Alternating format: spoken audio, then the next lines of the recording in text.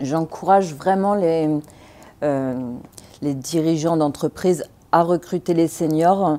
Pourquoi? Parce que tout simplement, il y a un acquis, il y a une certaine maturité et une transmission des savoirs qui va aider ben, les plus jeunes.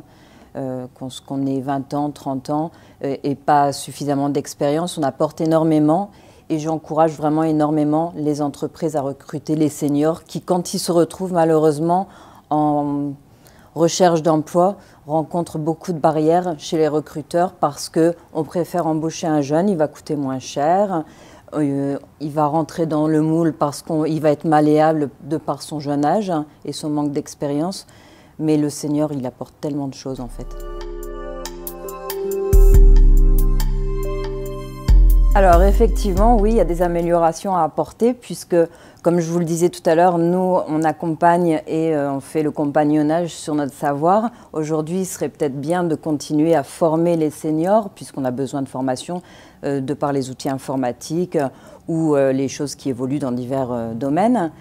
Et je le vis à l'heure actuelle dans mon entreprise. Le temps choisi pour les seniors, ça peut être quelque chose de très rentable quand on peut choisir ses horaires, ben, on se sent bien dans sa vie personnelle et donc professionnelle, tout simplement.